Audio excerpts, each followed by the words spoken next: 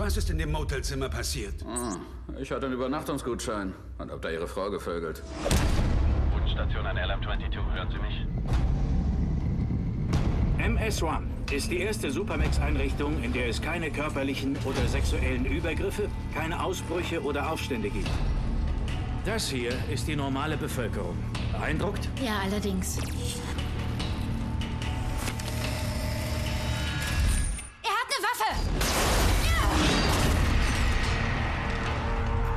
In den letzten Stunden hat es massive Übergriffe auf Supermax MS-1 gegeben. Feindliche Übernahme. Meine Tochter ist noch auf der Station.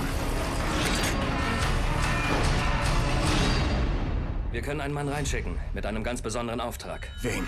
Ein Traumurlaub. Ich pack meine sieben Sachen, fahre ins All, gehe in eine Hochsicherheitsklapse, rette die Tochter des Präsidenten, wenn sie nicht schon tot ist, gleich mich an den Psychos vorbei, die gerade aufgestanden sind. Okay, es sollte ein Witz sein. Ich mach's. Alles klar, alle Ausgänge offen. Yeah, wäre ich doch auf dem College geblieben.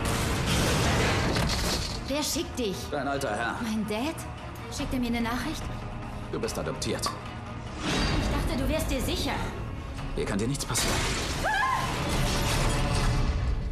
Oh, das muss nicht sein. Ein einfaches Danke reicht mir. MS-1 ist destabilisiert. Lassen Sie uns an Bord, sonst müssen wir sie angreifen. Hier ist ein Apfel und eine Knarre. Red nicht mit Fremden, erschieß sie.